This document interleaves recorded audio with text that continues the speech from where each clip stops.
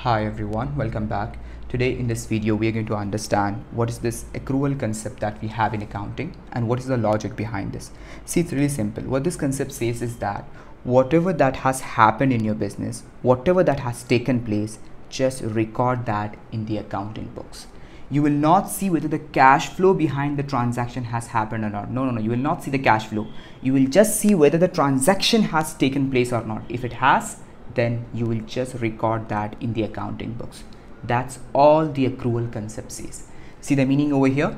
Under accrual concept, the effects of transactions and events are recognized as they occur, as they happen, as they take place, and not when cash is received or paid behind that transaction or event. You will not see the cash flow, you will only see whether the transaction or event has taken place or not.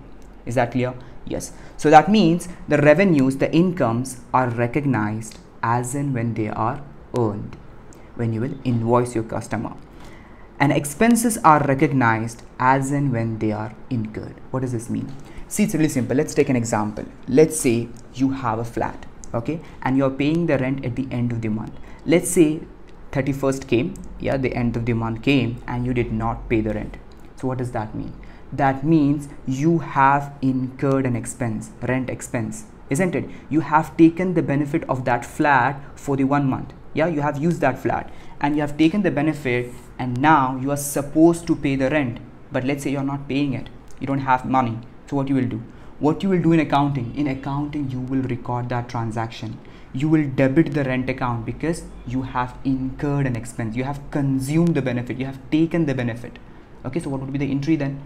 Journal entry rent account debit expense has been incurred you will take the amount. To what?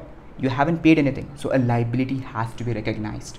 Rent account debit to outstanding rent okay? A liability account needs to be recognized. You haven't paid anything right? So that's what. Or you can also say rent account debit to landlord account. Yeah a payable you are recognizing. Fine. So that's how you will do regarding that. Now of course you understood how you have to do this. Yeah you just have to recognize things as and when they happen. Fine. And of course you have to record them in the financial statement isn't it? Yes here and they are recorded in the accounting records and reported in financial statements of the periods to which they relate. This is very important. Because because of accrual concept you know what happens? We have adjusting entries something called as adjusting entries which we will discuss in the separate video. Yeah accruals and prepayments you also call it yeah accruals and deferrals. Fine. So we'll discuss that later. So that's what accrual concept says. What it says it says that whatever that has happened just record that in the accounting records and then they will be reflected in the financial statement. Now in which financial statements and how that we'll discuss later. Fine. What will go to profit and loss what will go to balance sheet leave that. Fine. Then let's see one example over here. See revenue example. Example record revenue when you invoice the customer rather than when the customer pays you. See this is you know example of accrual concept being followed. What they're saying they're saying that you have to record the revenue as and when it is earned not when the customer pays you the money. No no no. See here.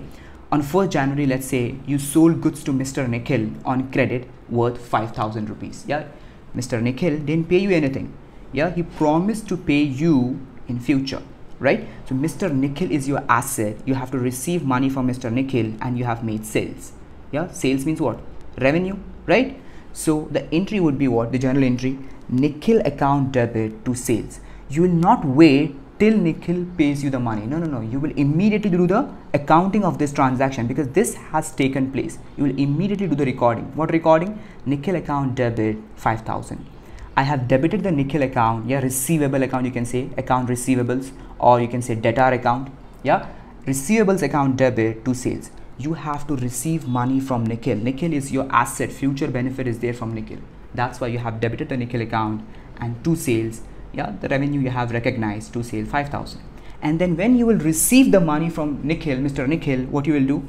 You will, you know, close this Nikhil account. You will, you know, cancel the receivables account because here you recognize I have to receive money from Mr. Nikhil receivables account debit debtor account debit yeah but when you receive the money Nikhil is no longer your asset so you will close the Nikhil account see here here it was debited you will make an equal credit to cancel off Nikhil account to Nikhil account okay and you will debit the cash account because you have got money from Nikhil. So cash account debit, asset is increasing, yeah?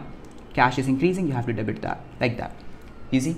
So you see, we record the transaction as and when it occurs, not when the cash is received or paid. Yeah, this is called as accrual basis of accounting. Yeah, it's not just the accrual concept, this is accrual basis of accounting. There's also cash basis. What's cash basis? Cash basis means you will only see the cash flow you will not see how the things have happened and all. No, you will only see the cash flow. If cash flow has happened, then only you will record the transaction. If in this example, if you were following the cash basis, that means directly what would happen? We would not pass any journal entry over here. No, no, no, no journal entry. Only journal entry over here on 20th January. Yeah. So cash basis does not show a true and proper position, financial position of the business and the performance.